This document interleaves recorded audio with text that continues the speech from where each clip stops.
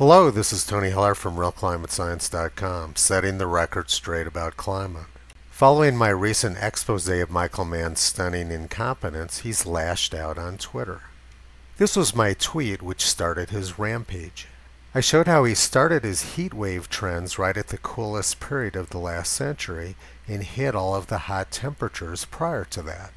It is difficult to imagine a scientist being this dishonest, but that's exactly what Michael Mann was doing. So rather than admitting his error, correcting his graph, and retracting the ridiculous claims he made, he went on a Twitter rampage. Tired of climate change deniers like Steve Goddard, who are so ashamed of their fibs and their misrepresentations of science and scientists that they hide their true identities. And then he linked to a parody site to show why people shouldn't listen to me. I'm not a bit surprised that Michael Mann gets his science from parody sites, because his hockey stick is a parody of reality. Michael Mann has me blocked, and it's against Twitter's terms of use for him to attack someone who he has blocked. But had he been able to actually look at my tweet, he would have known that I tweet under my real name. I also blog under my real name and make my YouTube videos under my real name. Steve S. Goddard is a pen name from a dozen years ago when I was working for a green company which would have fired me if they would have known what I was blogging about climate. Then Mann went on with his Twitter rampage. Many in these comment threads are fake identities created by corporate and state-sponsored, i.e. Russian troll farms. Others are just truly horrible people. Racism, misogyny, all-round maliciousness, and climate change denial just seem to go together. So the reason he's doing junk climate science is because of Russian trolls and bots. This sort of Twitter rampage is a common theme from Michael Mann. Here's one he went on last year.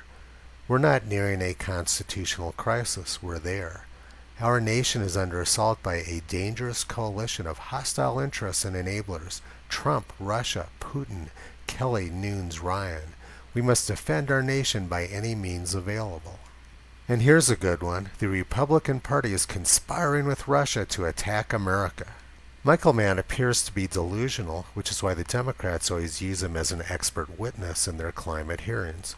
Then he came up with a new list of excuses for his followers not to pay attention to people exposing his malfeasance. All of the noise right now from the climate change denial machine, the bots and trolls, the calls for fake debates, etc., ignore it all. Deniers are desperate for oxygen in a mainstream media environment that thankfully is no longer giving it to them. Report, block, don't engage. History shows that people engaging in the big lie always avoid debate and always rely on censorship. Michael Mann is invoking all of the most undemocratic themes from the past. And now he seems to have settled in on a theme of trying to get me banned. In his next tweet, he was grossly misrepresenting some legitimate and important questions I asked after the Sandy Hook massacre. Anything to avoid discussing his scientific malfeasance. He's trying to link me here to Alex Jones. This is a ploy to get me banned like Alex Jones was. But I don't have anything to do with Alex Jones, and I was asking perfectly legitimate questions about the Sandy Hook massacre. To make sure the record is straight, I'm going to go over what the questions were that I asked. I used to work in Sandy Hook, Connecticut, and I rode my bicycle right past the school on my way to the office. Obviously, I knew people there and believed that they deserved to know the full story of what happened that day. This was an article which appeared in the local newspaper a few days after the shooting. The Newtown Bee, Thursday, December 27, 2012. A man with a gun who was spotted in the woods near the school on the day of the incident was an off-duty tactical squad police officer from another town. I was watching the coverage that day and saw the armed SWAT team member being arrested and carried off in a police car. He was wearing camouflage, and this immediately raised all kinds of questions. There was no reason for him to be there, as I'll show you in a minute.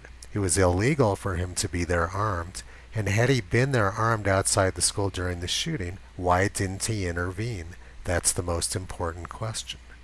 This is an aerial view of the school. This is Interstate 84. This is the section of woods where he was arrested, and this is where I rode my bicycle on my way to work. This is the small section of woods where the armed SWAT team member wearing camouflage was arrested. There's no reason for him to be there. There's no hiking trails there, there's no hunting there, and it's right next to the school. it was illegal for him to have a gun there. What was an armed SWAT team member from another town doing there? And rifles are extremely loud. There's no way he wouldn't have heard the shooting. If he's out there armed, why didn't he attempt to intervene in the shooting? These are very important questions, and the people I used to work with at Sandy Hook deserve to know the answers to them. This is the blog post which I wrote in 2013, which Michael Mann is attempting to misrepresent. The blog post was titled, So What Really Happened at Sandy Hook? And I quoted a newspaper article Sandy Hook DA cites potential suspects, fears witness safety. Connecticut State's Attorney Stephen Sedensky has argued that unsealing warrants in the Sandy Hook case might seriously jeopardize the investigation by disclosing information known only to other potential suspects. So the Connecticut State Attorney clearly believed that there were potentially other people involved. And then there was the article from the Newtown Bee. A man with a gun who was spotted in the woods near the school on the day of the incident was an off-duty tactical squad police officer from another town. And then another article, Police Scanner. A teacher saw two shadows running past the building, past the gym. So Michael Mann calls asking legitimate questions about his junk science and about what happened at Sandy Hook as being evil in its purest form. I live in Boulder, Colorado, where 20 years ago many progressives had bumper stickers on their car which said, Question Authority. But now many progressives seem to believe that questioning authority is illegal. Albert Einstein said, Blind trust in authority is the greatest enemy of the truth.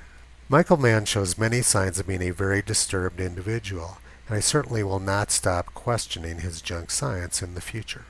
The great American physicist, Nobel Prize winner Richard Feynman said, If they say to you, science has shown such and such, you might ask, How does science show it? How did the scientists find out? How, what, where? Please feel free to post this video on Michael Mann's Twitter page.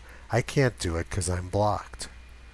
Visit Toto on the web at realclimatescience.com. He's been pulling back the curtain on junk science and propaganda for a long time.